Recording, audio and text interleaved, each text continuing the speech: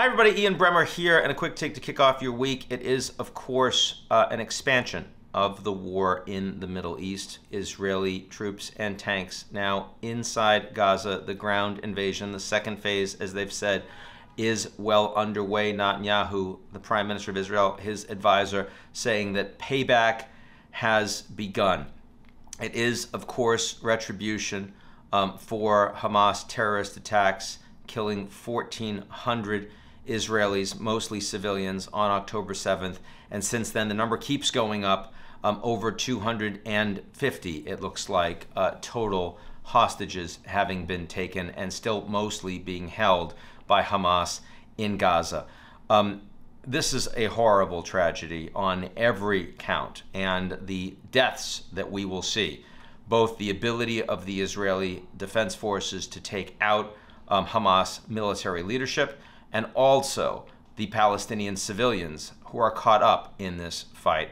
Those numbers, those death numbers, are going to go way, way up over the coming weeks. And I now believe we can no longer contain this war in Gaza. That was perhaps mostly possible um, in the past couple of weeks. It is so no longer. I think the level of radicalization and violence that you will see on the West Bank from the Palestinians and in return from the IDF and the settlers, also from Hezbollah in the north, um, and from Iranian proxies like the Houthis in Yemen and elsewhere, Iraq, Syria, that is going to be a reality in very short order. And the United States will be involved in that war. In that regard, very different from the Russian invasion of Ukraine, which almost two years in now, and a massive amount of military support and expense from the United States and allies to support the Ukrainians, but no fighting, no direct fighting of American soldiers already we have over 20 U.S. servicemen and women that have been casualties of uh, Shia uh, Iranian proxy strikes in the region. Those numbers expected to go way, way up. Also, anti Semitism attacks across the region, terrorism against the United States um, in the region, and more broadly. Um, I expect that we're going to see so much more of that um, in the coming weeks and months. And that means that this is not just Israel's war against Hamas.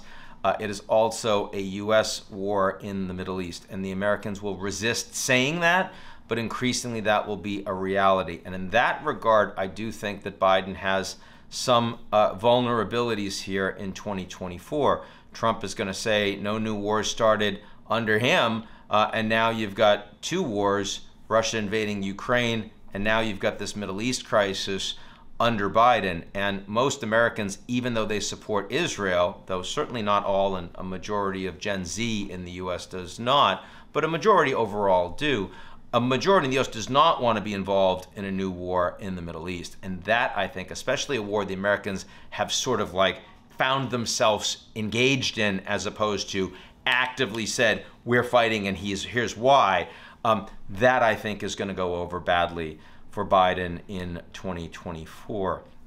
Um, still a very, very close race, of course, and you see that. But uh, for the near term, uh, we're focused on uh, the impact uh, in the region, um, the, uh, the, the reality that um, relations in the Gulf for Israel um, have been at best frozen for the foreseeable future, and at worst degraded substantially.